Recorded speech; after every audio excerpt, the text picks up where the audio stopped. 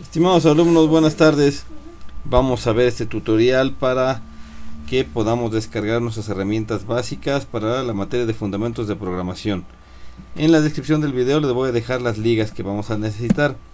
Primero vamos a ir a esta página que está aquí arriba a descargar lo que es el Raptor.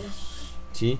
En esta parte del Raptor o en esta aplicación del Raptor yo recomiendo sobre todo descargar, vamos a, a buscar aquí lo que es la versión portable. Ok, una versión portable nos sirve para poderla instalar en una memoria USB o pendrive como le dicen en España aquí dice portable, portable version aquí donde dice here vamos a dar clic y inmediatamente nos lo va a descargar como lo podemos ver aquí abajo para instalarlo es muy sencillo simplemente yo recomiendo que el archivo que descargaron en este caso lo copien a su memoria USB o su pendrive y ahí lo ejecuten ¿sí? entonces al ejecutarlo le van a dar clic inmediatamente seleccionan el, el idioma le dan siguiente e instalar y el programa queda totalmente instalado ¿sí? entonces usted les va a generar una carpeta más o menos como esta. Eh, voy a poner este ejemplo una carpeta y aquí está. Esta la pueden traer ustedes en su, en su memoria USB y donde dice raptor portable.exe este lo ejecutan.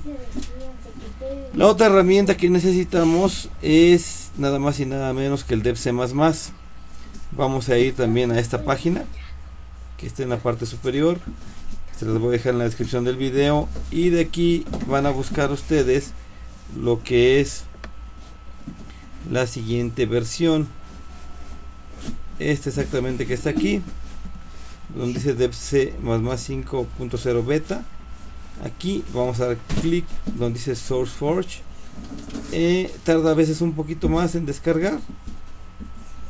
Y el proceso de instalación es el mismo nada más que esta aplicación sí se instala en su computadora después del conteo que viene aquí que ya terminó en 0 segundos aquí está la descarga.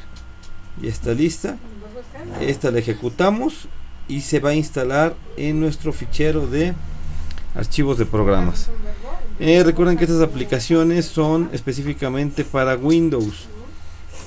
Eh, también se pueden utilizar en Mac siempre y cuando busquen sobre todo una aplicación que se llama Wine que sirve precisamente para para que ustedes puedan eh, ejecutar las aplicaciones para Windows en Mac. Este sistema operativo es Ubuntu este no es ni Windows ni Mac. Aquí se pueden también hacer varias aplicaciones nada más que se utilizan otras herramientas.